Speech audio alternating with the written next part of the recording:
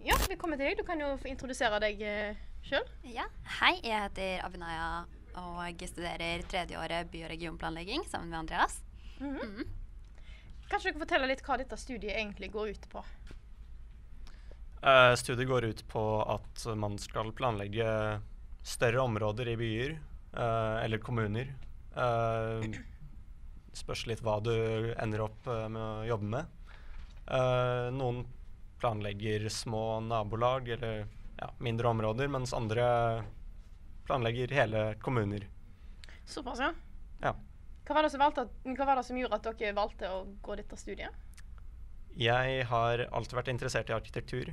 Og så um, fant jeg ut i løpet av videregående at jeg uh, ville jobbe med det mer overordnede. Og ja, da oppdaget jeg egentlig uh, et annet studie på et annet universitet. Men jeg fant ut at det ikke var noe for meg, så jeg ville ta den retningen som er på NMBU. Uh, ja. Og da får man også det juridiske, så da er det større sannsynlighet for at jeg får jobb. Ja. det er litt greit når en først bruker så mange år på uh, utdanning. Nettopp. Og du, da? Har du uh, Ja, litt det samme. Jeg hadde også litt interesse for arkitektur. og litt interesse for juss så tenkte jeg hmm, hva er det som er på en måte noe som har begge de to retningene sammen. Jeg leste veldig mye om eh, by- og regionplanlegging. Fant ut at dette kanskje kunne være noe for meg. Men jeg så også på det andre studiet som ligner litt på by- og regionplanlegging. De har et lignende studie i Universitetet i Stavanger. Um, men så kom jeg inn på NBU, og så har jeg bare blitt igjen.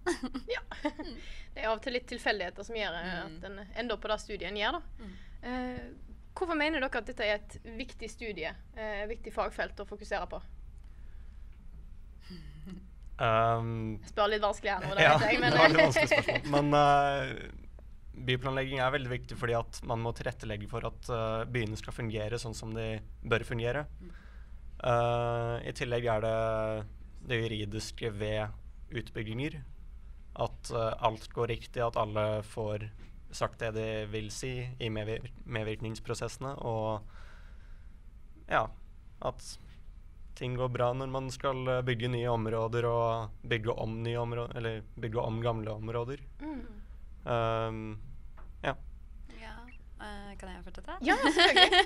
um, jeg tenker også at uh, det er veldig viktig i forhold til samfunnet eller generelt. Um, det vi planlegger i dag, uh, blir gjerne stående 100 år frem i tid òg. Eh, så vi må egentlig Det er ikke bare fem år i tid, 20 år i tid, men det er langsiktig eh, planlegging. Um, flere generasjoner er egentlig avhengig av at vi planlegger riktig, da. Eh, så det er et sånt samfunnsansvar, da. Mm. Mm. Hva er det vi skal fokusere på her i dag i Hovenbyen? Hva er det som blir deres oppgave? I dag skal vi lage en uh, såkalt masterplan, en overordnet plan for Hovenbyen. Uh, hvor vi skal uh, legge nye gater og veier. Um, på en måte gjøre om den eksisterende strukturen, gatestrukturen, til noe som passer for et boligområde. Og så skal vi prøve å få mest mulig boliger for å se hva som faktisk er mulig i uh, Hovenbyen. Eh, som du sa, så skal jo Oslo bli en millionby innen 2040. Og da må man ha mange nye boliger. Og Hovenbyen er et bra sted å starte for å få bygget eh, mye av det. Så vi skal ha høyest mulig utnyttelse. ja. Eh, da kan vi egentlig bare starte opp eh, vår modell. Eh, dette er en modell som vi har fått laget av youtuberen Silverett. Eh, han har bygd eh, nesten hele Oslo her for oss. utviklingen av den modellen kan du se på hans YouTube-kanal. Ja, vi kan egentlig bare starte å se litt på modellen her.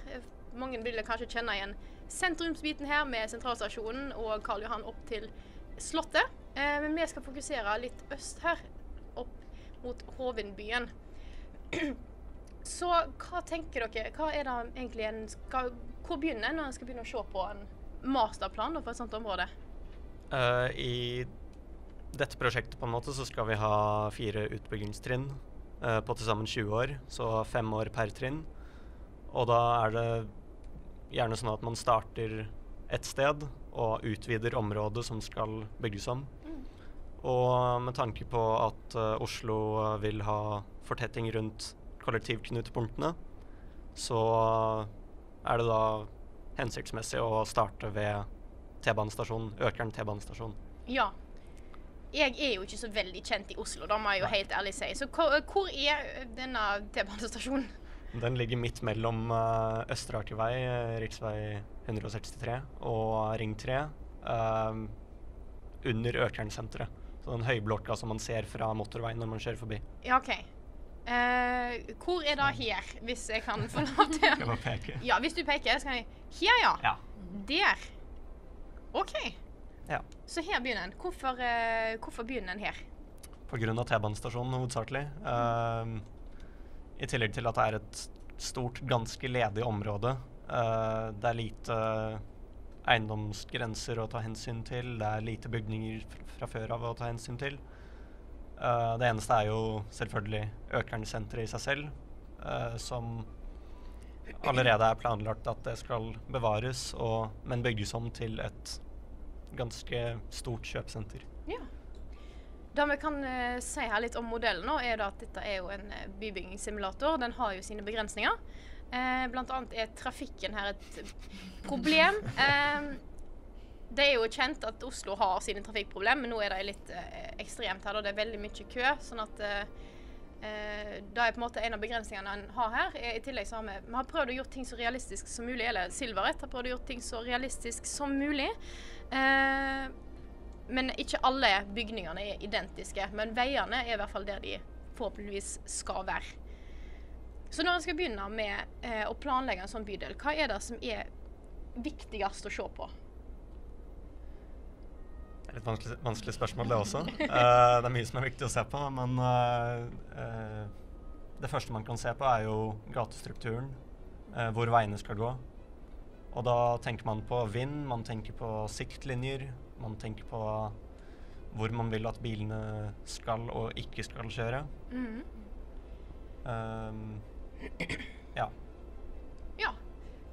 Hva er Nå kan jo, for dere, dere har jo utvikla en flerstegsplan her nå. Ja. Eh, så da tenker jeg egentlig at dere skal få lov til å liksom begynne litt med å forklare den planen. Hva er det som er første steg? Hva er, hva er det som er planen i denne byggingen her nå? Første steg er uh, egentlig å starte fortetting rundt, uh, rundt T-banestasjonen. Ja. Så ja. Det innebærer jo da at mange av de eksisterende bygningene syd for jernbanen der, uh, der ja, Dette her? Mm. ja, må rives. Ja. Det som er veldig greit, er at det er veldig lett å rive alle bygningene her. Eh, så eh, hvor, er det boligfelt dere vil ha inn her istedenfor, eller er det andre industrifelt? Hovedsakelig bolig. Mm. Ja. Vi kan jo egentlig begynne litt her. Hvor, det, hvor har dere lyst til å begynne i dette? Kan ta alle bygningene Alt dette her skal vekk? Ja. Ja. Den ene Det er jo selvfølgelig ikke så lett i virkeligheten. Nei, men, det, eh, men det er fordelen at vi kan gjøre dette her, da. ja. Så nå har han et stort uh, område her som bare er helt uh, tomt. Ja. Og da er det egentlig bare å Man kan eventuelt fjerne den veien som er der fra før av. Mm. Og så lager man bare et mer finmasket gatenett. Hvor det er plass til um, ja, mindre kvartaler. Ja. Og hvor det er enkelt å gå gjennom. Hvordan bygger en da opp et sånn type veinett? Hva er det en bør eh, fokusere på? Hvis en skal gjøre det på en måte ja. Det kommer an på området. Ja. Akkurat her så bør det jo være urbant. Uh, altså at det er tett. Um, litt bredere veier enn små boligfelt. Mhm. Slik at det er plass til uh, trafikkmengde, både biler og fotgjengere. syklister. Mhm. Um, og så er det siktlinjer. Uh, hvor vil man at uh, Hva vil man ha utsikt til når man går uh, på veiene? Mm. Eh, og så er det ganglinjer. Man vil ha kortest mulig gangavstand, ikke nødvendigvis kortest mulig kjøreavstand. Så eh, hva f.eks. det området her, da. Hvor er det en bør eh, legge en vei for å få til disse her, eh, siktlinjene og ganglinjene, og hva er det som egentlig de vil Hvor vil du ha den korte gangavstanden til? Tenker du til T-banen her da, kanskje? Ja. Mm. Ehm, siktlinjer er det ikke så mange mange Det er ikke så mange siktlinjer egentlig å tenke på der. Det er bare industriområder. Mm. Men uh, hvis vi tenker på gangavstand, så kan vi ha en rett gate som går omtrent fra rundkjøringen i syd til T-banen. Tenker du på denne her? Ja. Så du vil ha en rett vei herfra og opp til T-banen? Ja. Her ligger det jo et, ei toglinje i veien. ja. Den eh, kan vi eh, tenke på at skal fjernes.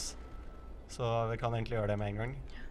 Um, årsaken til det er at eh, i fremtiden så er det planlagt et såkalt S-banesystem i Oslo. Som er på en måte en, ja, en type lokaltog. Mm. Og da er det planlagt en linje fra i tunnel fra Jernbanetorget til Bislett, Sagene, eh, Sinsen og til Økern. Så det kommer en ny stasjon på Økern. Ja. Og den banen skal da gå i tunnel og koble seg på jernbanen ved Alna-terminalen. Og vil sannsynligvis gjøre at uh, den eksisterende jernbanen som går tvers gjennom Økern-området, blir unødvendig. Ja, Så så det er ikke noe problem å ta vekk hele den der. Den er, det er planlagt at den skal fjernes. Ja. Beklager. Da kan jeg egentlig bare ta og fjerne hele den her, jeg, da. ja. Håper at ikke det fører til altfor mange eh, problem for uh, Oslo sine innbyggere at hele denne toglinja her nå forsvinner. Eh, det er mye arbeid som må til her da, for å fjerne alt, uh, alt dette her. Hvor uh, lang, langtidsplaner er det det er snakk om her? Hvor mange år er det før en måtte få sett dette området her ferdig? Uh,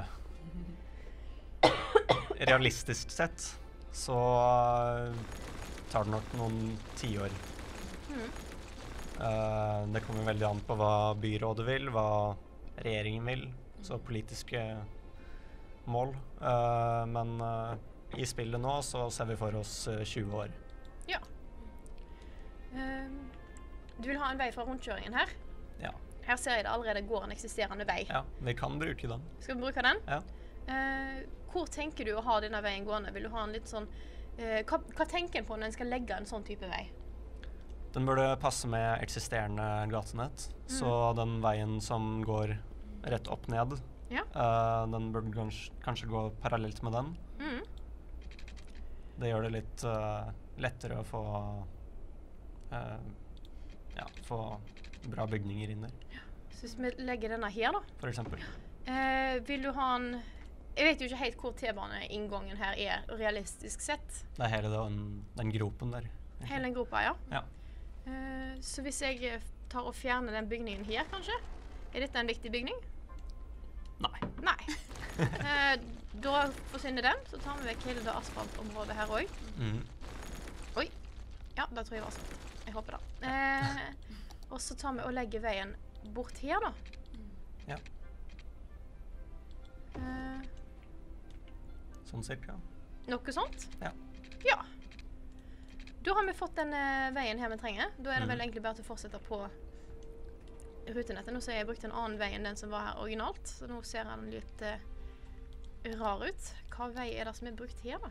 Det er på en måte mitt eh, Eller problemet, da, hvis du kan kalle det det, med at eh, denne modellen er lagd av noen andre. Så prøver jeg å få uh, Prøver jeg å finne ut uh, hva det er som er blitt brukt på de ulike tidspunkter. Har du en idé om Du har jo spilt en del City Skylines Ja. før. Har du en idé om hva vei det er som er blitt brukt her? Ja, jeg vil tippe det er hvis du går på den nummer to der, Den, jo. og så er det en av de borteste Den nest borteste, Den? vil jeg tro. Ja. Ja, den så veldig sånn ut. Da kan vi ta og oppgradere veiene her, sånn at alt ser veldig likt ut her, da. Så når vi tenker nå på eh, boligfeltet her eh, Hvordan kan en minimere, mer, minimere gangavstanden til folk? Og et finmasket gatenett. Ja. Og ja, så ikke store kvartaler.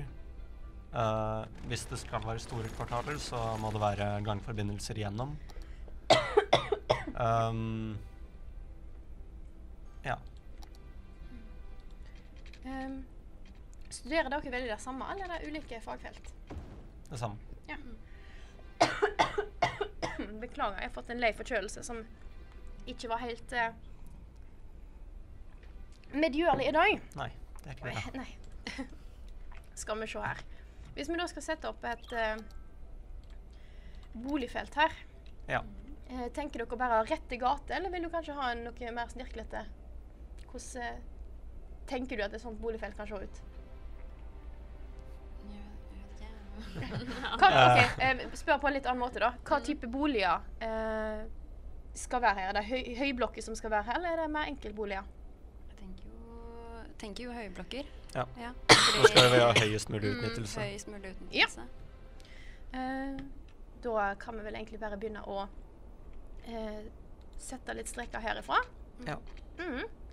Og så rette gater er kanskje en fordel, eh, fordi at eh, når man skal bygge bygninger og ha en uh, logisk planløsning med uh, ja, med rominndelinger, så er det mest praktisk å ha rette vinkler, Mm. sånn med tanke på plassering av møbler. Ellers ja. Nå har vi jo litt ulike høyblokker å velge mellom.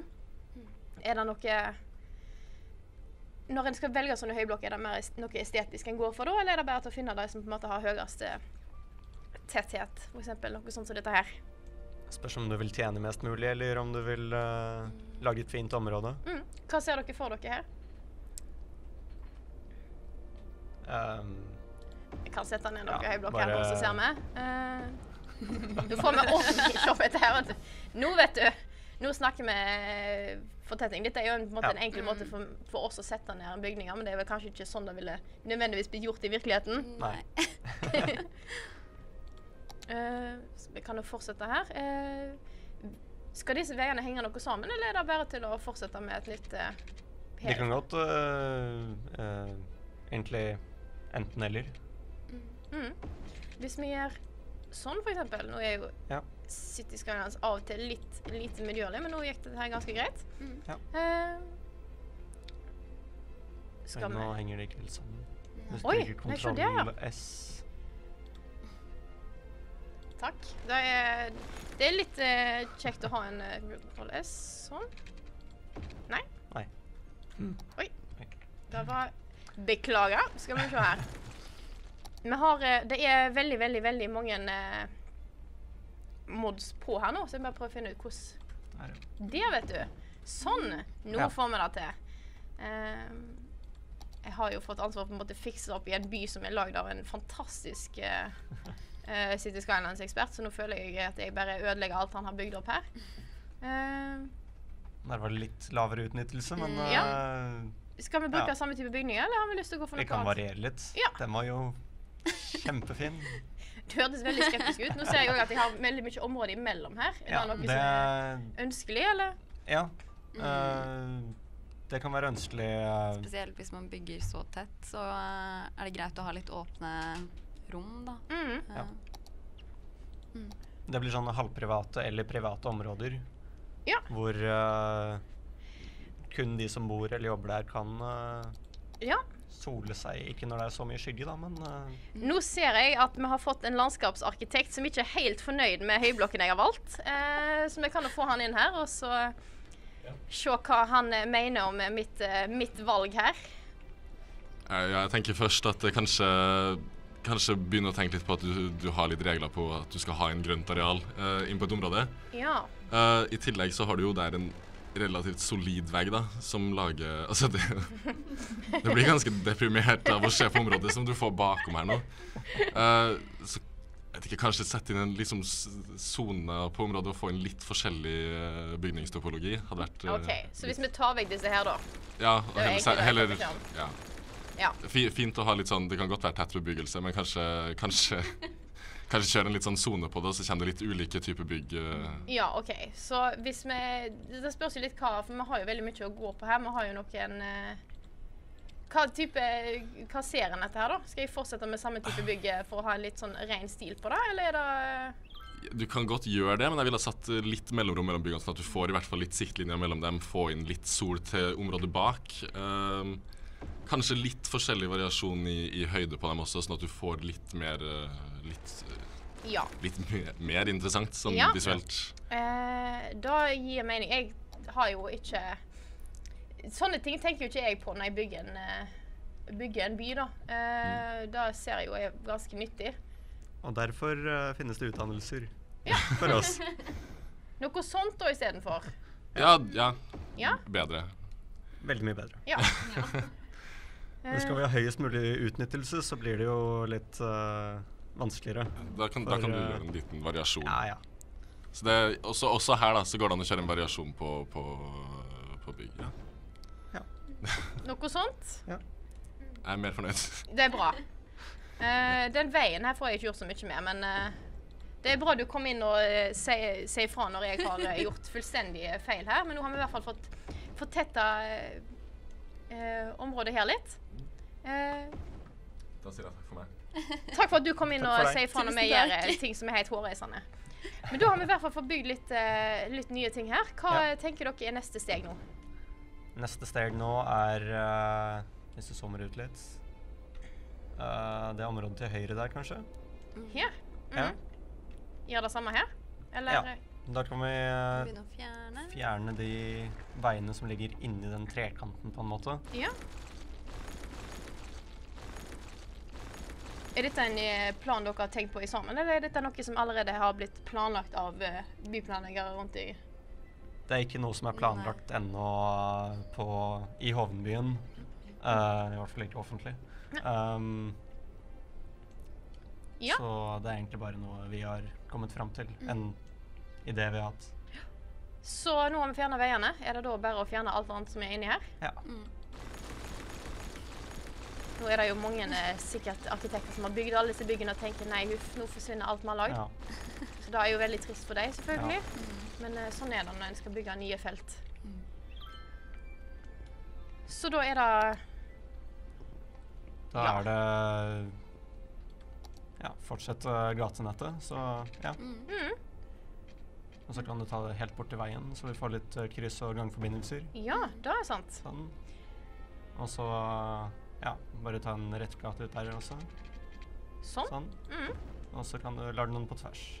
Ja, sånn at de får litt eh, Hvordan tenker dere på å lage gangstier på disse her? Er det noe som uh, Å lage gangveier og stier og sånne ting for f.eks.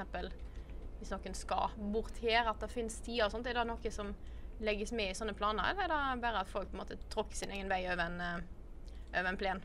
Eh, Da blir det eventuelt at uh, det reguleres inn gang for, uh, ja, gangstier eller gangveier. Uh, eller at det er åpne kvartaler, sånn at man kan gå gjennom. Altså at bygningene er um, eh, Det er ikke én vegg som går rundt i en firkant. Det er eh, mellomrom mellom veggene. Hvordan de, Det, vet du. Sånn. Her, ja. Nå prøver jeg å bygge litt fine ting her. Skal vi se her, da. Sånn, vet du. Mm. Det blir fint boligkvartal. Ja.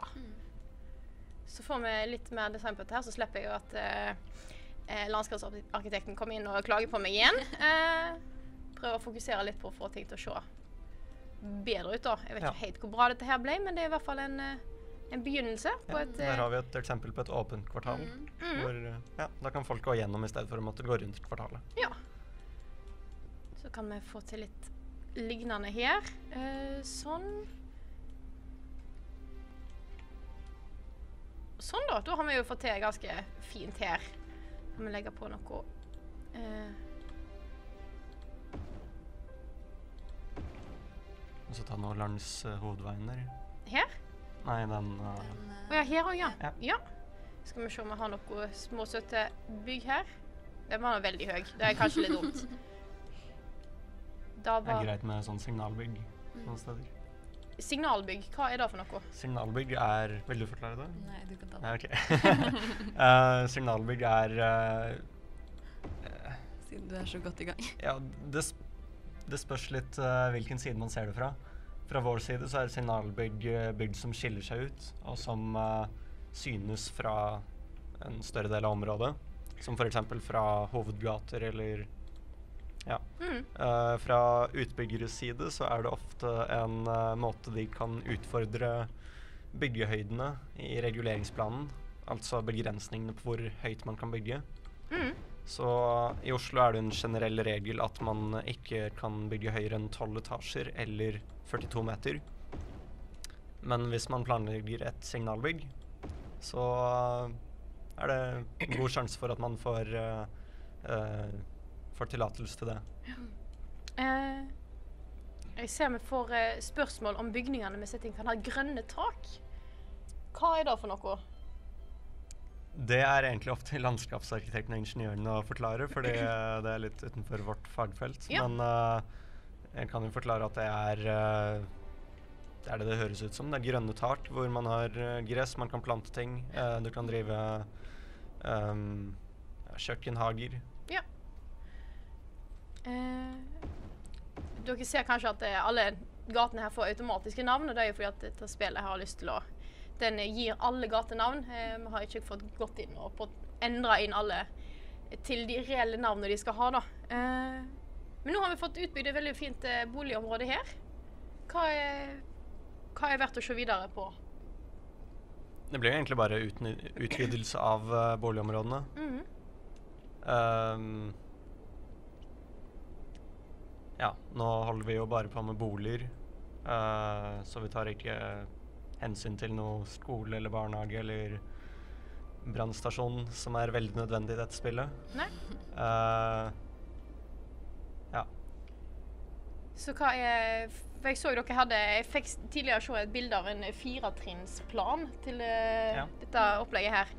Vi har Vi har en plan her Mhm. Som uh, kan følges. Uh, og i den planen så kan man lage Ja. Hvis vi lager eh, utvider det eksisterende hovedveinettet, da. Ja. Kan f.eks. For forlenge Kabelgata her ja. til hovedveien der nede. Ja. Jeg ser det går jo en vei imellom her. Bare fjerne. Fjerne den, ja. Ja.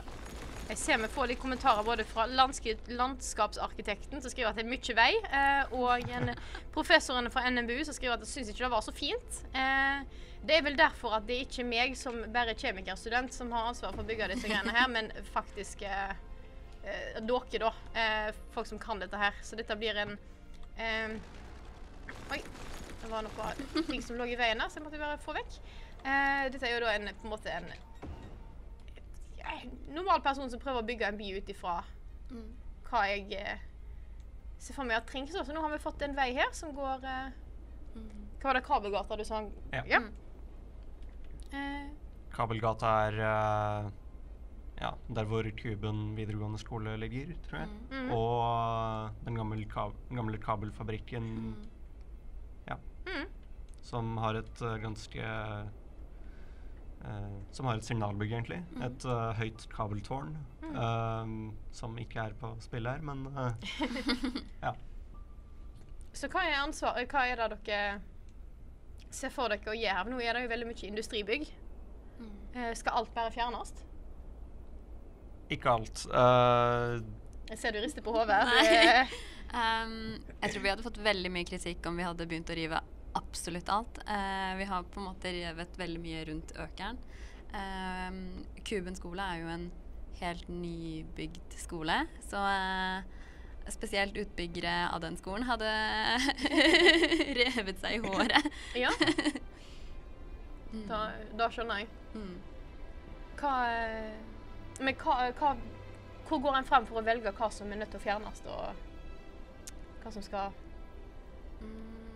Det er litt opp til uh, eiendomsutviklerne. Mm. Fordi de må se på verdien av et område, se om det er verdt å rive, eller om det kan gjenbrukes Mm. Mm. eh, på noen måte. Så Men uh, ut fra hva jeg tenker, i hvert fall, så eh, burde kuben beholdes og kabeltårnet, som som sagt ikke er her.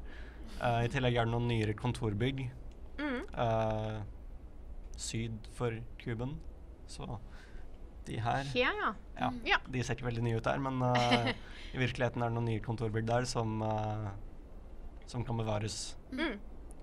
Men nå har vi jo fått fiksa litt opp her. Hvor eh, bør en fokusere på videre? Nå har en jo fått mer, mer boliger her, flere folk som bor her. Eh, skal det økes enda mer med antallet boliger og sånt rundt her, eller er det Antall boliger skal være maksimum. Ja, så maksimum, ja. det er en eh, absolutt uh, sak. Det er maksimum boliger, så får vi kanskje han eh, landskapsarkitekten inn igjen her og si at han er kanskje litt misfornøyd, men ja, ja. det kan hende.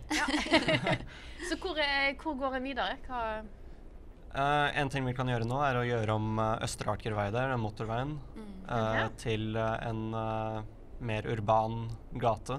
Mm. Så ja, hvis du egentlig bare river hele den Hele den? Ja. Ja. Eh, da fjerner vi alle køproblemer, og da er det Ja. kjempegreit. Eh, Det er flott, det. ja, hvor er, Altså med hele rundkjøringen og alt det Eh, der. du kan ta fram til tunnelen der. så her, da? Så bare ja. men da river vi litt eh, Nå ser vi at alle bilene her blir veldig paniske og vet ikke helt hvor de skal kjøre. Eh, Vi fant en løsning, vi. ja, ja. Og så kan du ta alle rundkjøringene rundt som fram til der. Den her òg, ja. Ja. Eh, den her òg. ja. Det er jo veldig store byggeprosjekter. Dette vil jo ta ganske lang tid for Oslo Mm. kommune å få til. Mm. Absolutt. Dette er litt annerledes i sitt Skylands, da, fordi du må rive veier og bygge de på nytt, i stedet for å bare gjøre de om. Mm. Uh, så hvis du tar litt lenger opp, river litt mer, Ta fram til hele- slutten av bebyggelsen her Ja. omtrent. Og så kan vi ta en firefelts aveny i stedet. ja, for dere har lyst til at det skal se istedenfor å ha en motorvei, og da ha en mer uh, Mm. Ja. En sånn med trær på midten. tre Det, på? er- det er Mm, kjempefint. Ja. Eh, som skal gå samme område her, da? Eller? Ja, eh, mm. Samme, samme trasé. Mm. Nå uh, Bare for å se litt hvordan det Nå tror jeg landskapsarkitektene Nå Ja, ja. Nå må de bli litt sånn fornøyde. Er det ofte et problem med, liksom litt krasj mellom hva de ulike fagfelt har lyst til å få til? Ja. Ofte. uh, men i løpet av utdanningen så har vi heldigvis uh, mye tverrfaglige fag. Mm. Så vi samarbeider med landskapsarkitektene og uh, eiendomsutviklere. Mm. Sånn at vi får noe som alle er fornøyde med. Skal vi da Det få blir denne komprimier, da, men Ja, da skjønner jeg jo godt, da. Eh, skal denne Skal vi se, motorveien skal inn på denne ja, da kan du egentlig bare koble de to veiene på den veien. Mm. Ja. For ja. Hva er enklest måte å gjøre dette her på, da? Hva er det vi har her? ta den tofelts i stedet. Den her? Mm, Den ved siden av. Den? Nei, den der, ja. Den, ja. Da er jeg med. Skal vi se her, da. Så kan du egentlig bare ta en rett linje sånn, og andre vei. Ja, det er bra nok. Det er utenfor området vårt, og vi Ja, det er ikke så viktig. Men da kan vi få kobla på her òg, da. Ja. Skal vi se her. Oi. Sånn. Sånn cirka. Da er bilene tilbake igjen på veien. Ja, Mm. så flott. Ja. Men ikke så mye kø. Nei, eh, ikke ennå. Eh, men da har vi i hvert fall fått det på den veien her. Dette ser jo veldig fint ut med, med trær og alt sammen. Mm. Eh, er det veldig mange eh, Det er vel ikke så mange eh, veier i Oslo som har sånne type grønt skille, kanskje? Nei. Nei. Det er hovedsakelig Ring 2. Mm. Ja. Um, ja, det er ikke så mange andre enn det. Jeg ser det noen i chatten der som liker metoden for å løse trafikkproblemet. Bare å rive alle veiene. Det kanskje ikke helt sånn det funker i virkeligheten, men det, sånn er det når en har en litt begrensninger i dette spillet. da. Ja. Ja, da har vi fiksa veien. Ja. Ja. Da kan vi egentlig bare fortsette på gatenettet. Så f.eks. hvis vi kobler på den gaten som kommer ned der, Den her. Uh, ja, bare ta den i et vanlig kryss der. Et vanlig kryss her. Ja. Da vil Um, eh, gå fint. Det vil ikke bli mye kø her. Man vil jo på en måte skape kø også, fordi at eh, da er det færre som velger bil. Ja, det er litt kontroversielt å si, men ja. Sånn. Og så kan du ta veien videre til den veien der. På den her? Eh, da kan du egentlig rive den veien først. Skal vi rive mer vei? Yes. Rive den opp til rundkjøringen, Ja. og så bygge den på nytt. Fordi da får vi den over bakken i stedet for liksom Ja. sunket ned. Skal vi ta eh, sånn at ting på en måte går litt i stil her, da? Jeg er veldig glad i at ting skal se litt estetisk Sånn. Ja. Og da er den rett, så da kan du ta en vei derfra og ned til der, ja. mm. Flott. Yes. Nå tror jeg jeg holdt mikrofonen litt langt unna, men eh, Ja. Men da går, eh, det går nok fint. Eh, da har vi fått Eh. satt sammen disse veiene her. ja. Mhm. Da kan vi egentlig bare eh, Den trekanttomta på en måte her eh, kan begynne å fylle inn bygninger der. Ja. Det går fint å sette Jeg, jeg får eh, Nå kan jeg kun dette ut ifra et City Skylines-perspektiv. og jeg- Da å sette bygninger langs en hovedvei syns jeg høres så rart ut. Eh, fordi at da blir det blir så mye kaos her. Men jeg kan skjønne at det funker bedre kanskje i, i virkeligheten. da. Ja. En begrensning som er i City Skylines, er jo at uh, alle kjører bil hele tiden. Ja. En veldig sånn hva skal man si, amerikansk tankegang der. ja. Prøve å finne noe som ser litt greit så vi får litt uh, Den ene var jo Ja. Nei, jeg tror uh, vi tar uh, Jeg blir glad i disse her. Jeg syns disse Ja, ser litt fine ut, jeg. Ja, det er jo litt sånn identitet i området når vi bruker de samme bygningene. Det er helt sant.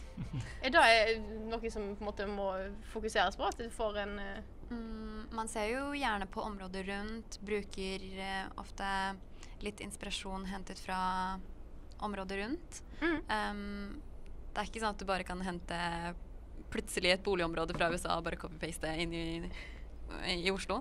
Nei, da, eh, da skjønner jeg. Mm. Så identitet har veldig mye å si, ja. Ja. Og det som er veldig identitetsskapende her, er jo det Økern-senteret. Mm. Det har jo vært der ganske lenge, så ja. Ja. Det er jo veldig bra at vi beholder det. Jeg ser vi har fått et spørsmål fra militanten i chatten som spør hvorfor ikke bygge mye under bakken. Er det en ulempe?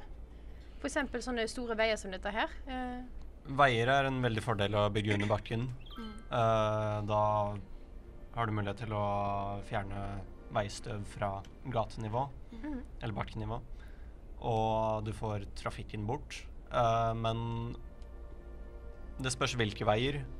Motorveier er fint å få under bakken, spesielt i storbyene.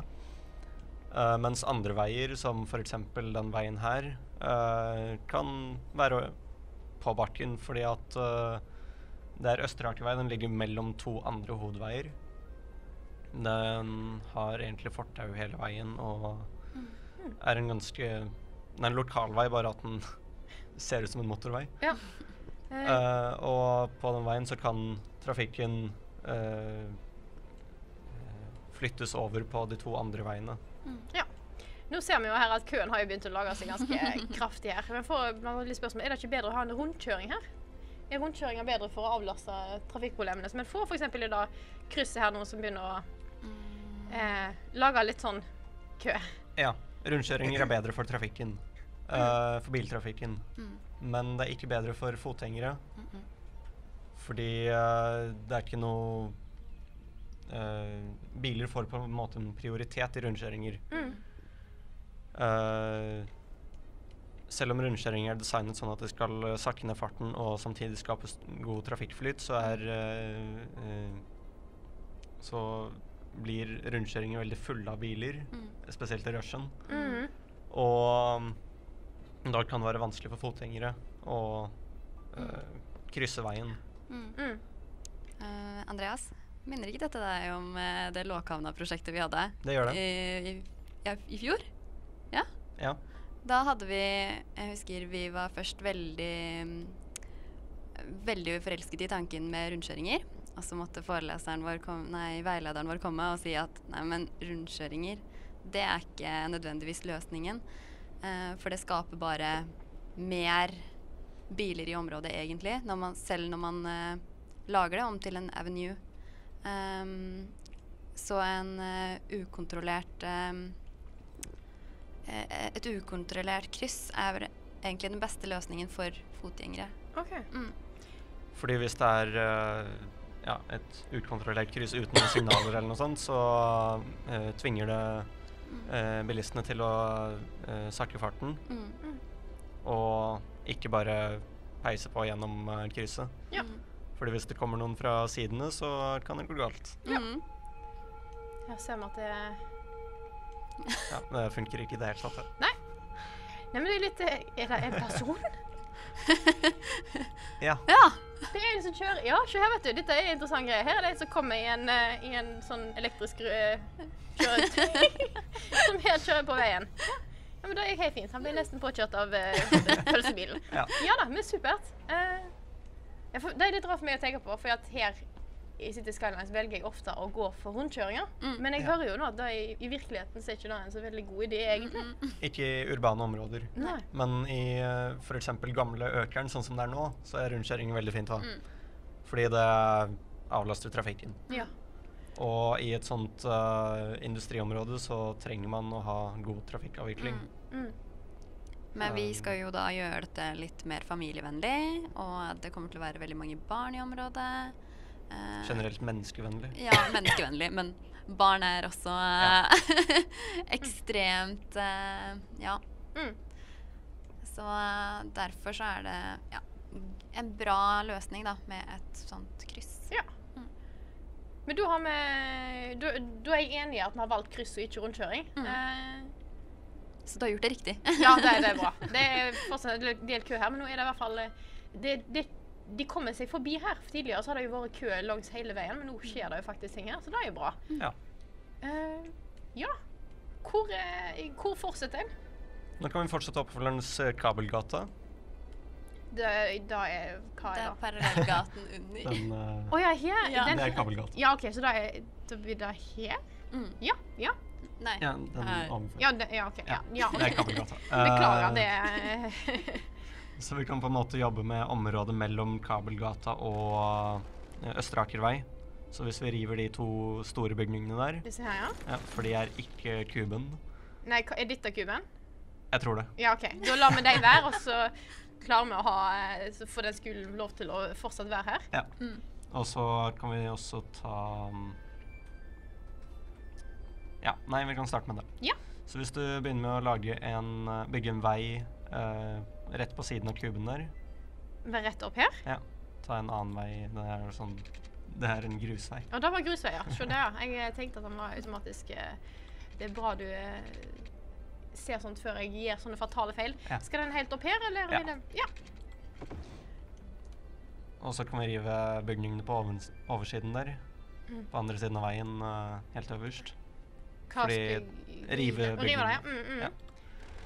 For det er ja, lagerbygninger og industribygninger som vi egentlig ikke trenger lenger. Ja, alt sammen her, da. Ja. Jeg ser det, Vi får mye spørsmål om trafikklys. Eh, eh, om vi ikke burde ha trafikklys hvis ikke det skal være rundkjøring. Nå ser jeg det kommer trafikklys her automatisk. Ja. Eh, Mm. er dette et kryss der dere kunne tenkt dere hatt et trafikklys i en virkelig sammenheng? Med tanke på at det er et firefeltsvei, så er det nok lurt å ha trafikklys. Mm. Hadde det vært uh, tofeltsvei, ehm, så er det Og ikke ekstreme mengder trafikk, Mm. så er det greit å ha ehm, fritt fram, på en måte. At det er høyere høyrereglene som gjelder. Nå har vi fått fjerna det som var her. Er det da bare å bygge boligfelt? Ja. ja. Kan fortsette veien fra den der, ja. Og så opp her? Ja. Mm. Og så kan vi gjøre det samme der. Sette den opp her, da, kanskje? Der er det en vei Er det en vei her? Ja. Sånn. Oi, nå ble det en sving. Uh, skal vi se. Ja, for det, OK. For det som, her ligger det nemlig litt asfalt, ser det ut som. Noe sånn grått. Uh, det ligger bare sånn der eh, grusveier her. Ja. Mm. Så hvis vi tar vekk dem, så vil vi kunne se veien litt bedre. Sånn. Der, Der, ja. Skal den nå gå opp her, da, kanskje? Ja. ja. Sånn. Lettere å komme seg fram og tilbake igjen. Og så er det bare å legge på litt uh, hus her, da. Mm. Ja. Da digger samme gamle Samme gamle. Nå er det bra. Eventuelt kan du bare ta og bruke zoningen uh, der. Ja, vi kan jo Eh, egentlig gjøre det. Altså, Eh, ja. ja. Og så sier vi at her skal det bygges hus. Ja. Eh, jeg antar høytetthetshuset da, siden Ja. vi Så bygger spillet her husene sjøl når eh, han syns det er tid for det. Ja, For det der er omtrent sånn som vi gjør det eh, når vi lager kommuneplaner og reguleringsplaner. Mm. Um, hva skjer der? Hm? Det bare kutter seg. Ja. ja. Godt spørsmål. Det er litt Um, mye mods her nå, tror jeg, som gir litt uh, Ja. Mm. Men uh, ja, når vi lager kommuneplaner og reguleringsplaner, så velger vi hvor det skal bygges boliger, kontorer Ja, det er forskjellige kategorier, da. Ja. Um, og så er det jo ikke opp til oss å bygge bygningen, egentlig. Vi bare lar det lar det skje. Ja. Da skal dere slippe å se meg lage disse her eh, kaotiske greiene her. uh, uh, ja, da har vi fått uh, lagd litt Her skulle vi Ja. Da, her skulle vi ha litt hus, var det da? Ja, der også. Ja. Da kan vi egentlig lage en vei som går omtrent midt på der, Uh, Her oss opp til den, Ja. kanskje? Mm. sånn cirka. Skikkelig gridstruktur. Det er jo litt eh, Det er jo veldig sånn gridstruktur. Det er kanskje ikke disse landskapsarkitektene som er like fornøyd med det, men nå, eh, nå ser vi her blir det bygd eh, nye boliger. Da får vi òg litt mer variasjon enn det som jeg la inn. Oi, se her! Her er det brann. Eh, Problemet her er at vi har ikke lagt inn så mange. For å prøve å være realistisk har vi prøvd å lagt inn eh, eh, eh, lagt inn, eh, Vi har ikke lagt inn brannstasjoner mer enn det som egentlig fins. Eh, jeg ser òg at vi har en eh, eh, landskapsarkitekt... nei, nei. Landskapsingeniør. Beklager, det er litt vanskelig. Det er litt mye Men ja, hun har i hvert fall lyst til å komme med litt innspill her, så det er bare til å Ja. bli med oss. Uh, ja, det gjaldt eh, Det var kommet spørsmål om bro... Oi, der var det. uh, ja, det var spørsmål om brostein eller belegg. Eh, om det var bra i boligfelt. Mm -hmm. eh, det er jo man, mye man kan si om det. Men, eh, og det er litt forskjell på brostein og betongstein. Altså man kanskje Utfordringen med brostein i boligfelt er at eh, særlig knytta til universell utforming, som handler om tilgjengelighet for f.eks. rullestol og brukere og fremkommelighet sånn sett, eh, så, så må man eh, bruke Du kan ikke bruke hvilken som helst blodstein da, for det kan bli for humpete, rett og slett. Mm. Eh, da er kanskje betongstein et bedre alternativ. Det er jo, men igjen så kan du f.eks. bruke brostein på mindre felter, som taktilt belegg, da, som er å eh, gjøre f.eks. blinde eller svaksynte oppmerksomme på fremkommelighet. da. Mm. Eh, men det å bruke dekker, eh, den type steindekker i stedet for asfalt f.eks., er jo kjempefint, fordi du får en annet utseende på uterommet. Asfalt er jo veldig Og mer permeabelt. Ja, det er mer permeabelt, men da må du også bygge et permeabelt dekke under steinen. Hva er permeabelt? eh, Permeabelt, det er um, at, uh, at uh, eh, besteinen og undergrunnen skal ta unna vann. Mer Ja, vann. mm. Em, veldig aktuelt nå med tanke på ja, eh, lokal overvannsdisponering. Eh, og at eh, dekkene ja, skal ta unna mer vann eh, i og med at det kommer mer og mer regn og sånn. Det kommer vi sikkert litt mer tilbake til seinere også, men, eh, men eh, ja, det var vel kanskje egentlig svaret, tror jeg. Ja, Veldig spennende. Ja. Takk for at du kom- innom. Jeg liker når vi bare får inn personer som forteller oss hva vi skal gjøre her. Nå har vi jo fått opp hele bygningen her. Dette gikk jo mye Det gikk veldig fint. Ja. Veldig variert bebyggelse. Ja, Eh. det er liksom det er dette her, og så har du dette her kjedelige greiene som jeg bygde. Så jeg tror vi lar, eh, jeg tror vi lar spillet bygge disse greiene her, tror jeg. Ok. Ja, eh, ja, da har vi fått mye boliger her. Mange nye folk som er klare til å gå på Kuben videregående skole. Mm. Ja. Ja. Yes. Um, da kan vi ta det feltet til venstre for kuben der. Ja, ja. Ja. Uh, nå skulle vi beholde de bygningene. Å ja, vi skulle beholde den, ja. Det er ikke Ja. noe kontrollsett, dessverre. Nei, eh, det er, det er mitt store problem med, med dette spillet her, er at vi ikke har det. Skal vi se hvis jeg gjør sånn, og så tar vi ja, hva bygning Det var en sånn en, sikkert. Omtrent. Sånn! Ja. Så skal den bygningen få lov til å være her. Så skal jeg prøve å ikke ødelegge alt. Hva er det vi har lov til å ta vekk her? Dette her, Eh, kanskje? de to. Ja. Um, Fortsette litt i samme ja. Bare ta noen kvartaler. Eh, hvis du tar en gate derfra og opp hit. nesten til veien, ikke helt Sånn. sånn, ja. Ja. Så får vi en blindvei der, Ja. som som regel går litt mer inntil, men det er ikke så farlig. ja og så bare også, film ut alt her, da. Ja. Alle disse her òg, kanskje? Ja. ja. Sånn. Ja, Da får vi omtrent. masse nye her. Og så er det kabelfabrikken, som eh, Ja. Hva? Kan også ta inntil hovedveien. Ja. gjennom. Sånn. Kabelfabrikken. Hva Ja. er det for en? Det Hvis du peker på hvor vi skal hen? Er det ikke den her? Den her, ja. Så hele dette her skal vekk? Ja. Nei, ehm, ikke alt. På spillet, ja, men ikke i virkeligheten, fordi det er en sånn gammel, fin mursteinsbygning der. eh, som uh, En av disse her, eller det jeg har tatt vekk nå? Uh, Den er ikke i spillet. Nei, OK, men da bare tar vi vekk dette Ja, vi tar bort alt. Ja. Vi gjør det enkelt. Vi Ja. Bare tar vekk alt som er Og så her. kan ta videre bortover også. Alt sammen? Ja. Oi! Oi. Hva er du? Uh, ja, hva er det? Da, det er sånn, Av og til så er det noen bygninger her som har en funksjon. Jeg tror det er Recycling Sorting Center. Ja, den er brent ned, den. I virkeligheten, eller? eh, Ja. Ja. Ja, ja, men, ja. Ikke akkurat den, men uh, Den som i nærheten. Ja, men da Ja. Ja. Sånn. det. Sånn. Da Skal vi ha noe rett og bare- her, kanskje? Eller? Ja, ta en fra der og opp. Sånn. Og så der og ned, ja. Ja. Og her, eller? Ja. Sånn, og så kan vi legge til litt uh, Boliger. ja. Sånn. Det her var veldig lett. Ja, det skulle vært sånn i virkeligheten, vet du. Ja. Sånn. Da har vi fått masse, får vi snart masse boliger her. Mhm. ja. Da bygges det jo også veldig raskt. ja, eh, vi har satt opp sånn at det skal bygges med en gang. Ja, ja. ja. Eh, litt raskere enn i virkeligheten. Da tar det jo litt tid å bygge opp alt dette her. Mm. Nå har vi fått masse boligfelt rundt her. ja. Hva Og da skal vi se. Hvis vi tar litt lenger ned, Ja. så har vi den um, Hva er det for noe? ja, hva er Ja, forresten, nå er egentlig kabeltårnet også revet. eh, som vi skulle bevare.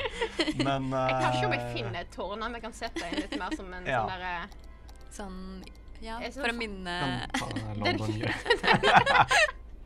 Han er veldig Eh, Der? Nei. Nei, for jeg vet det. jeg- Har vi ikke noe tårn? Ikke det Eiffeltårnet? Eiffeltårnet. Er fint. setter inn ei Der passer det fint. Ja. Ja. Må ha signalbygg. Jeg, Vi jeg, bare vi skulle stjal-. Hvis du går på den uh, tingen der, så kan vi ta den eller noe sånt. Det er et hvitt tårn som skal være der. Cirka. Mm. Ja. Omtrent. Ja, da har vi fått lagd den. Um, går det an å sette fyr på ting? Eh, hva vil du sette fyr på? Jeg Oi, det var Norsk gjenvinning. um, ja, nei. Eh, vi kan egentlig rive alle de gamle bygningene der.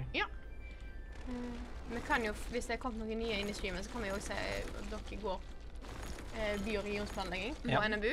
Ja. Jeg ser det har kommet inn noen eh, nye her og der, så det Vet vi hvor mange seere vi har? eh, ikke hos meg. Nei. Eh, så det er jeg litt usikker på. Men nå har vi fått inn en eiendomsutvikler. Som skal komme og snakke om et eller annet jeg sikkert har gjort, eh, gjort eh, gøy her. Hva er det eh, Ja. Hva har du å kommentere på? Nei, Jeg er bare litt bekymra for eh, hvor mye som blir revet her nå, og hvor mye vei det blir eh, rundt omkring her. Mhm. Så jeg bare tenkte jeg skulle høre hva som foregår der. Ja. Jeg er jo bare det jeg får beskjed om av byregionsplanleggerne her. Ja. Så um, hva Hadde Det dette vært virkeligheten, så hadde jo det blitt litt annerledes. Uh, nå gjør vi det her på en time. Vanligvis tar jo dette mange år. Um, altså hvert kvartal tar det sikkert Ja, jeg vet ikke hvor lang tid det tar, men uh, det er år vi snakker om, er ikke timer. Men hva mener du at det heller bør, burde blitt gjort? Nei, jeg vil jo gjerne beholde så mye som mulig av det litt eldre i den uh, hovedgata, da, for å bygge et litt sånn koselig handlestrøk. Ja. Eller sentrum der, da. Det som går an til at når vi kommer til eh, din episode etterpå, så kan vi rive ned alt dette her, og så kan vi bygge Ja, det- ja, det gleder jeg meg til. Ja. Men det som er av det eld denne eldre bebyggelsen i områdene, er jo egentlig bare eh, lagerbygninger og eh, ja, fabrikker. Så noe av det kan jo selvfølgelig eh, bygges om til leiligheter eller eh, kontorer, handelsområder. Se på Vulkan eksempel, hvor en eh, gammel sånn Er det fabrikkbygning? eller noe. En gammel sånn mursteinsbygning i hvert fall har blitt bygget om til mathall. ja. Da sier jeg takk for meg så lenge. Ja, den er greit. Så får vi sett mer av deg senere. Og Så får vi ta, og- da river vi ned alt dette her igjen, og så, eh, så begynner vi på nytt. holdt jeg på å si. Nå har vi fått masse boligfelt her. Jeg ser at vi eh, Ja, hva, hva mer er det? Sånn, mer sånn i generelle trekk, hva er det som skal gjøres her nå? Vi burde da kanskje ha noe grønt. Ja. Uh, og da passer den tomta her veldig Ja. fint. Mhm. Så kan rive det det som er der. Nå er det veldig mye grønt innimellom bygningene uh, fordi det ikke har blitt fylt igjen. Men uh, der er det kjempefint for en park, Ja. syns jeg. Skal vi se om vi kan få lagd en liten park her, da. Bare plassere noen trær. Vi kan plassere noen trær. Ja. Vi har vel noe sånn Så bruker du brushen og eh, brush strength, kan vi kanskje brush size eh, og Ja. sånn. ja. Ta den opp litt. Ja. Bruke en av de solide Ja, det kan jeg gjøre. Sånn, vet du. Nå får vi masse Ja. tre her, og så kan vi eh, Vi kan legge inn en sti, kanskje, sånn at folk Ja. kan eh, gå her. For eksempel eh, Hvis de går herfra, da, så kan eh, stien går litt sånn. Skal vi se, den var nå veldig rett vei. Ser du sitter og humrer litt. Syns du dette her er et eh, forferdelig eh, Ja, vi tenker at eh, dette her hadde vi jo Altså, alt dette som vi har gjort hittil, hadde vi kanskje ikke fått lov i, i studiet generelt. Nei. Det her er kanskje en ønske ønsketenkning av eh, ja, Ja. En veldig enkel uh, fremstilling av hva vi gjør. Ja. Så kan vi sette ned en benk. Én benk. En benk. Jeg bare finne ut hvor det Kan vi se kan vi om vi har en som heter bench, kanskje? Oi. Se, vet du. Ja, Sånn. noen benker. Eh, ja. Kan, kan plassere en skog av benker. Så får jeg vekk denne her nå, da. Uh, ta brush-sizen ned på single. Ja, Der. sånn. Ja. Setter noen benker her. Sånn, nå har vi lagt et lite En liten park her. Ja. Jeg tror den er en, en del av treet. Men da har vi jo fått lagd litt eh, grøntområder òg. Dette ser jo veldig fint ut. Ja. Ja. Uh, da kan vi fortsette med f.eks. det området der, syd for parken. Hvordan får jeg den? Der, ja. Der, ja. Syd for parken, ja. Ja. Mhm. Uh, den gaten som er der fra før av, den er ganske fin. Den er rett, men der hvor svingen er, så kan vi rive og Feste den på her, her, ja, kanskje? feste på Mhm. der. Da unngår du at folk må kjøre hele veien rundt her, og får kanskje vekk litt Ja, vi ville nok hatt eh, blindveier der. Uh, hatt noen sperringer, sånn at Mhm. folk faktisk ikke kjører der. For Ja. det vil vi ikke. Vi vil at det skal være kortere å gå og, enn å kjøre. Ja. Uh, og så kan ja, rive de eksisterende bygningene der. Ja. Og parkeringsplassene. Parkeringsplasser gir seg jo ikke for grøntarealet her, så nei. Da må vi fjerne alt der, så er det bare til å Og så ja, ta en vei opp der først. Ja. Og så Oi. kan vi ta en, ta sånn på tvers der. Sånn, ja. Ja. Mm. Og så kan vi Og så blir det boligfelt. Ja. Alt blir boligfelt. Ja. Det er et eksempel på en rundkjøring som kanskje ikke burde være rundkjøring, men et kryss. Mm. Um, så ja, hvis du fjerner den rundkjøringen Og gjør dem til et kryss. Ja, Ja, fjerner jeg det om til kryss, ja. Mm. Ja.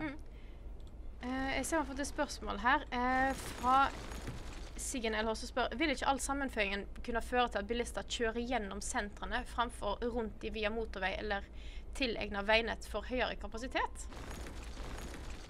Altså at eh, siden vi, alt henger sammen nå, at folk vil kjøre på de mindre veiene istedenfor hovedveiene? Ja. Eh, det er jo en sånn detalj som vi jobber med i virkeligheten, men ikke nødvendigvis i spillet. Mm.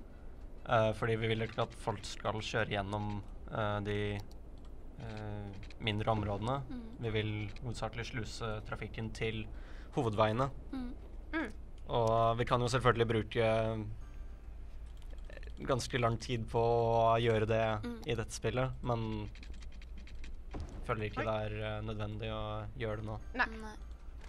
Og så er det jo um, retningslinjer for hva, hva slags veier man kan bygge og sånt. Um, spesielt i. Spesielt i boligområder så er det jo veldig vanlig at man har 30 km i timen. Altså fartsgrensen er 30 km.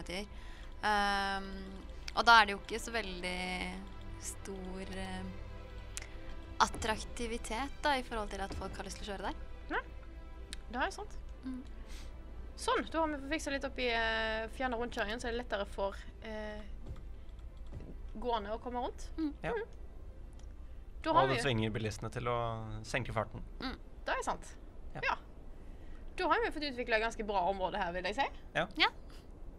hva er Jeg ser du ler litt her nå. Hva er det som er på en måte, Hvis vi gir litt sånn, så vi slipper å shoppe etter her eh, greiene som jeg har bygd borti her. Jeg vurderer å rive det og starte opp på nytt igjen, men ja. Ja, nei um, Det er gjort veldig fort. Ja.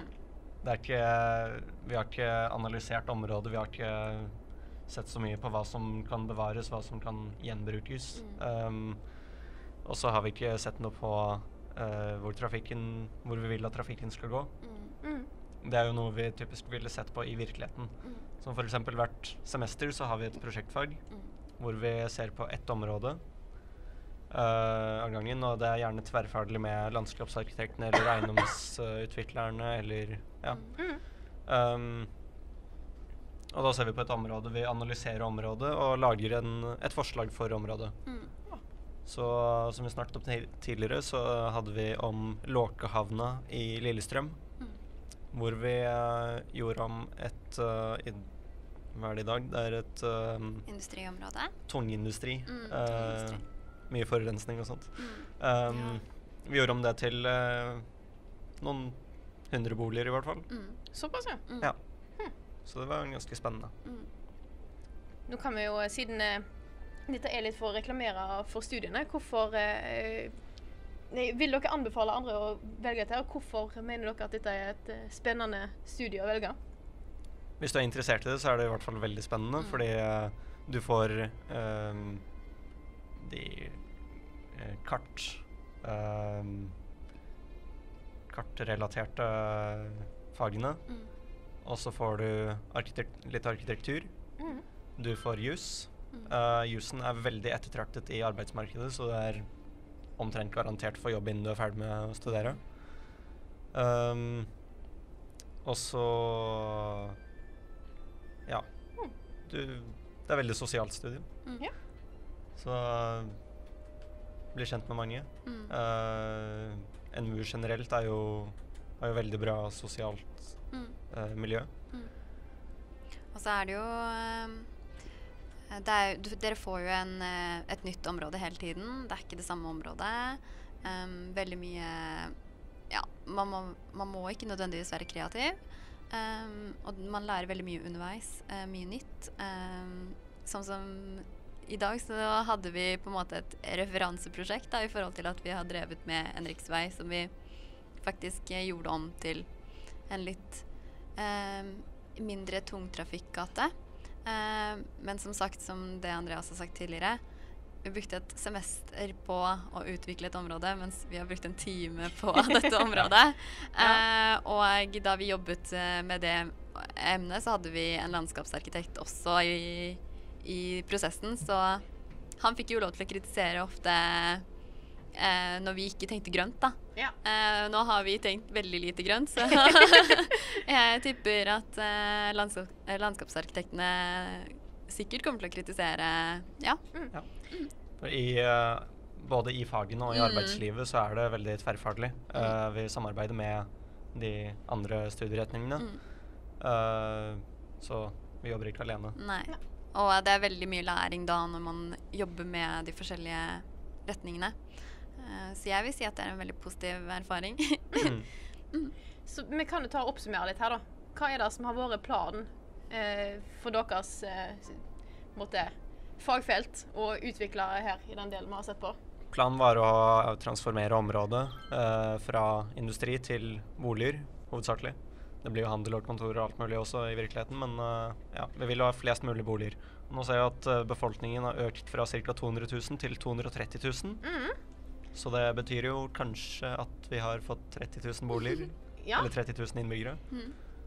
det kan godt være. Um, ja. Så vi har jo oppnådd noe av, mål, målet, i hvert fall. Det er helt sant. Eh, men du, dere tror at det blir litt, planene her blir litt kritisert av de andre som uh, Det er godt mulig. Men med det så tror jeg jeg vil si tusen takk til dere.